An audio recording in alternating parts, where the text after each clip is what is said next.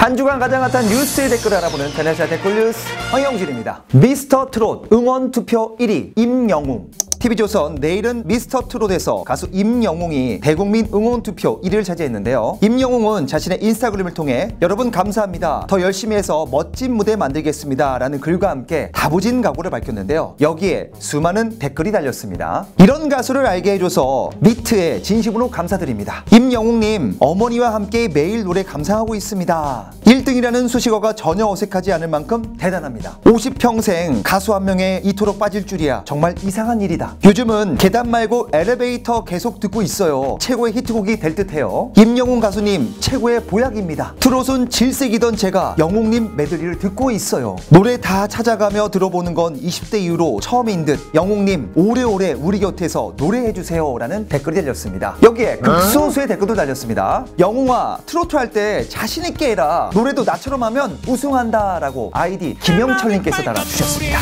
황영진의 한마디입니다. 임영웅 씨 응원 투표 1위 한 거 이 별거 아닙니다. 앞으로 1위가 아닌 트로트의 영웅이 되실 겁니다.